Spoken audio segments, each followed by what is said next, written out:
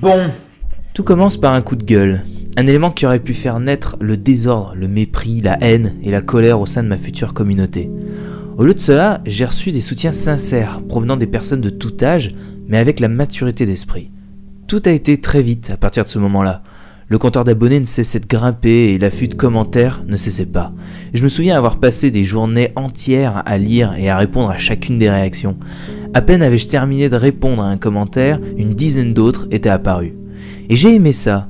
Bon sang que j'ai aimé me laisser emporter par cette tempête de messages. Cela faisait des années que j'étais sur YouTube déjà, je faisais mes petites vidéos dans mon coin, dans l'espérance qu'un jour je puisse au moins échanger avec deux ou trois personnes régulièrement au sujet des thèmes que je proposais à l'époque. De voir tous ces gens-là être aussi sympas, eh ben ça m'a fait quelque chose. Vraiment, vous, m'avez touché en plein cœur. Je, vous le dis sincèrement, il y a, quelque chose qui, s'est passé, qui se passe même encore en ce moment. Là, je suis en train de vous parler, je vais encore recevoir des commentaires. Ça me permet de toucher au but de pourquoi est-ce que je fais des vidéos. Si je fais des vidéos, c'est pour Malgré quelques rencontres par-ci par-là, rien n'avait jamais réellement décollé, à tel point que j'ai songé à plusieurs reprises de mettre fin à cette aventure qui ne voulait pas débuter. Puis est arrivé un événement mondial. La vague Star Wars s'apprêtait à envahir la Terre entière. Un raz-de-marée démesuré allait s'abattre sur l'humanité. Sauf que, à ce moment-là, j'allais faire partie des personnes épargnées par le phénomène. Je n'avais jamais réussi à me plonger dans l'univers de la guerre des étoiles. Cependant, il était hors de question pour moi de passer à côté. À vrai dire, depuis quelque temps, je me cherchais. Mon fanatisme de Sonic ou de Michael Jackson était toujours présent, mais se présentait comme l'ombre d'une gloire passée. J'avais besoin de croire à nouveau en quelque chose de puissant, de partager une passion, vivre et en harmonie avec d'autres fans. J'ai donc décidé d'entamer le marathon Star Wars juste avant la sortie du septième volet. Désireux de garder un souvenir de cette expérience, j'ai pris la décision de créer un concept dédié à la découverte de nouveaux films, le fameux je n'ai jamais vu. Au fil des épisodes, je me rends compte à quel point cet univers est riche. Je m'attache aux personnages, à l'histoire, aux enjeux.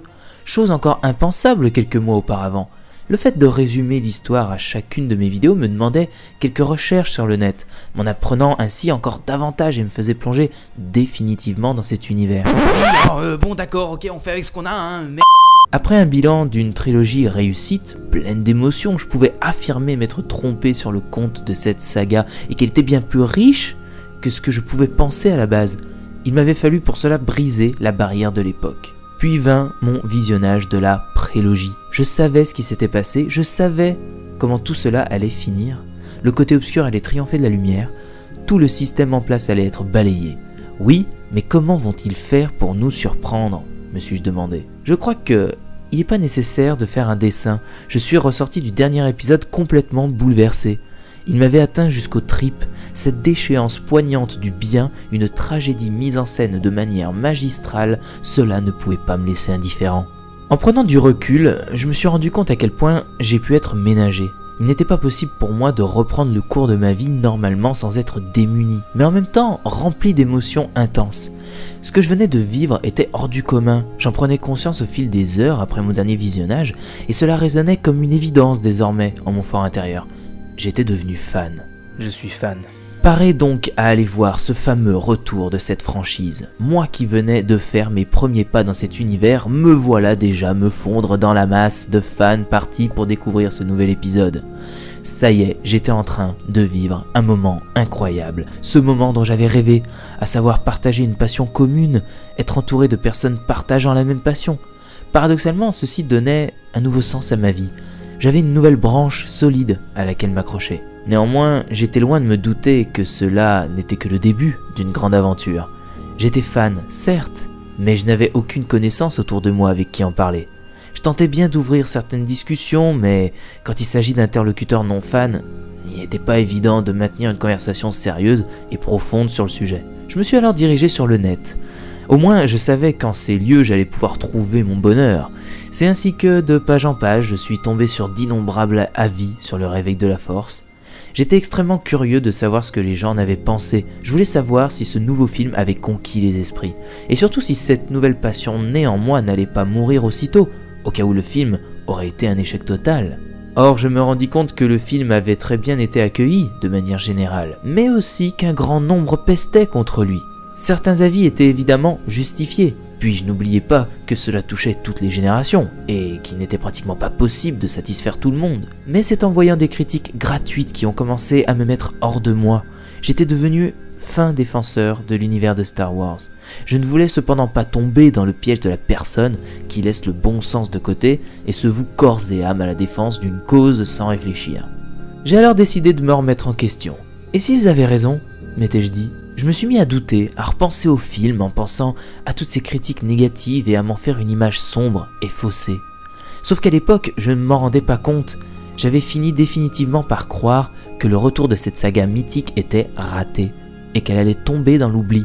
Moi qui venais nouvellement de m'accrocher à quelque chose de solide, celle-ci devenait friable d'heure en heure et me laissait petit à petit chuter dans le désespoir.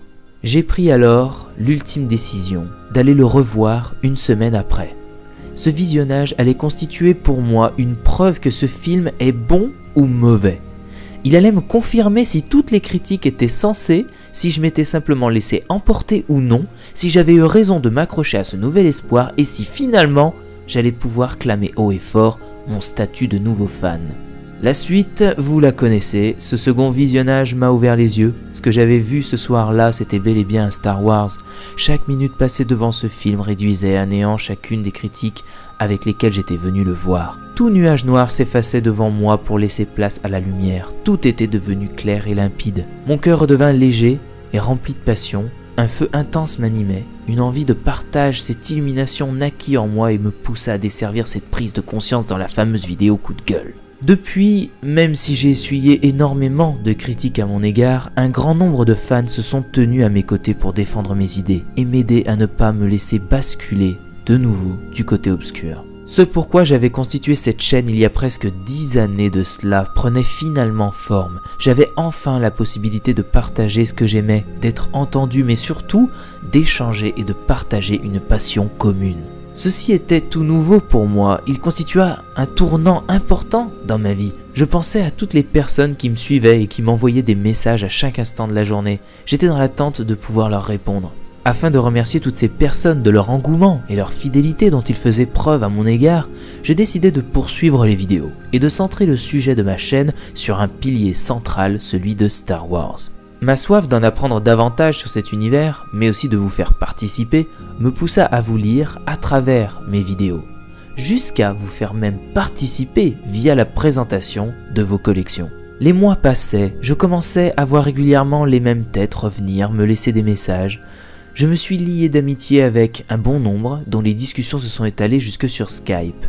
Voulant toujours davantage d'échanges avec vous, j'ai décidé de créer un groupe réunissant la plupart des abonnés actifs. Petit à petit, des nouvelles personnes se sont jointes à ce groupe. Et de jour en jour, j'étais surpris de voir à quel point les échanges étaient réguliers, respectueux, intéressants, pouvant même s'étaler jusqu'au bout de la nuit. Une communauté prenait vie. Chose impensable pour moi. Je ne l'avais jamais voulu ni vivement espéré. Je voulais avoir tout au plus quelques personnes avec qui échanger, mais quelle fut ma surprise de voir qu'au final, j'avais fondé bien plus que cela. J'avais fondé une famille. Une véritable famille aimable, enjouée, mature, saine et pure. Du moins, je ne l'ai pas fait tout seul. Cette Kishni Family est née grâce à la bonne volonté de tous, de vous tous. Que ce soit sur YouTube ou sur Skype, ma communauté s'est créée d'elle-même. C'est vous qui êtes les seuls responsables de ce que nous sommes en train de vivre. Chacune de vos réactions, de vos messages, de vos discussions nous font vivre ensemble, nous font nous apprécier, nous aimer les uns les autres. À aucun moment je n'ai décidé de contrôler ce mouvement, je l'ai laissé se créer lui-même. Vous êtes tous libres d'y prendre part, quelle que soit la manière, sans forcément parler, rien que votre présence suffit à faire vivre cette fabuleuse communauté. J'ai souvent eu des retours à propos de la qualité de notre communauté. Les gens atterrissent sur ma chaîne et sont surpris du niveau de maturité et de bonne entente qui règne en ces lieux. Je ne peux évidemment qu'être amplement du même avis. Je suis à la fois l'auteur mais aussi le spectateur de ce qui se passe ici. Je n'ai certes pas des millions de gens qui me suivent, l'histoire de cette chaîne passera peut-être à tout jamais inaperçu du reste de YouTube et peut-être que jamais cela ne prendra une ampleur phénoménale, mais l'important réside-t-il dans ceci? Je peux affirmer que non. Ce qui prime avant tout pour moi, ce n'est pas la quantité, mais la qualité. Ce n'est pas de savoir combien j'ai d'abonnés, mais qui sont ces abonnés? Ce n'est pas de savoir combien j'ai de likes, mais si vous-même vous appréciez ce que je fais. Ce n'est pas le nombre de vues, mais si j'ai réussi à vous captiver, à vous faire aimer ce que je propose. Car ces vidéos, je les fais parce que j'aime les faire, mais elles vous sont également destinées. Alors je donne tout mon cœur dans leur réalisation pour que vous puissiez y trouver votre compte et puissiez tout simplement passer un bon moment en ma compagnie. Je n'ai jamais incité personne à faire ou à regarder quoi que ce soit, chacun a toujours été libre de venir me voir quand bon lui semble, et je suis convaincu que c'est cette liberté qui vous pousse justement à venir me retrouver régulièrement. Je peux l'affirmer haut et fort, j'ai une communauté en or. Vous avez toujours répondu présent, même dans les moments difficiles. Car oui, cette chaîne YouTube, ce n'est pas qu'une chaîne. C'est en réalité une sorte de journal intime, un endroit où je vous partage ma passion, mais aussi mes états d'âme, mes doutes, mes colères, mes blessures. J'ai toujours été impressionné du soutien que je pouvais recevoir. À chaque fois que j'allais mal, j'avais même des messages de personnes qui ne commentent habituellement jamais, simplement pour me dire qu'ils sont bel et bien là et qu'ils me soutiennent. Ce sont des intentions que je ne pourrai jamais oublier, qui sont gravées au fond de moi. Le témoignage ultime de votre attention à mon égard s'est manifesté lors de ce fameux 9 octobre 2016, le jour de mon anniversaire de mes 25 ans. Un groupe d'abonnés s'est réuni des jours durant pour constituer un hommage à mon égard des plus émouvants qu'il m'a jamais été donné de voir. Cette vidéo que vous m'avez faite sur mon parcours et sur ce que vous pensez de moi m'a complètement bouleversé. Autant, voire plus, que la revanche des sites, ce qui n'est pas rien, n'est-ce pas?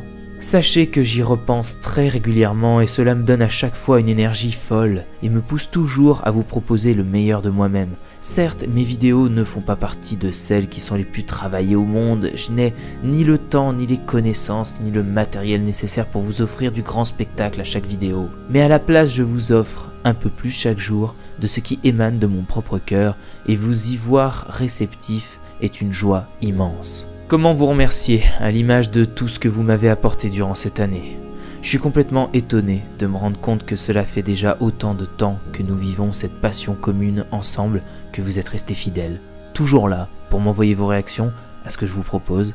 C'est absolument impensable pour moi, je me suis toujours dit qu'il existe tant d'autres chaînes plus intéressantes et qu'avec le temps et la vie de chacun, vous alliez à un moment ou à un autre voler de vos propres ailes et délaisser petit à petit mon univers. Mais vous êtes là, vous êtes toujours là, et vous m'impressionnez. Vous faites partie intégrante de ma vie désormais. Chaque jour, je passe voir ponctuellement vos commentaires sur YouTube, vos messages sur Skype, et je prends plaisir à vous lire et à vous répondre. Nous passons une partie de nos vies tous ensemble, à tel point que ce terme de Kishni Family résonne bien plus en moi désormais que comme une simple dénomination de ce qui vous représente. Il s'agit en réalité d'une vraie famille qui s'est constituée là, sous mes yeux. Vous êtes ma famille. Nous sommes une famille, j'apprécie chacun d'entre vous, je commence à vous connaître personnellement, à discerner votre personnalité et c'est ce qui vous rend si attachant. Je me rends compte de la chance que j'ai de pouvoir compter sur chacun d'entre vous. La passion qui nous anime, les discussions qui nous relient, cela ne s'arrête pas à la simple frontière de YouTube, mais s'étale au-delà de la dimension humaine. Merci de votre soutien, de vos messages, de votre joie, de votre sincérité, de votre respect, de votre maturité, de votre savoir. Merci d'être là, tout simplement. Il est temps pour moi de tirer ma révérence, du moins pour cette année. Alors, vivement l'année prochaine, en espérant encore vous compter nombreux et nombreuses. En attendant, eh bien, je vous souhaite de bien retourner à vos occupations, passez d'agréables fêtes de fin d'année. Ciao à tous, à l'année prochaine et que la force soit avec vous. Que la force soit avec toi. anniversaire et que la force soit avec toi, à tout jamais. Que la force soit avec toi. Que la force soit avec toi. Que la force soit avec toi.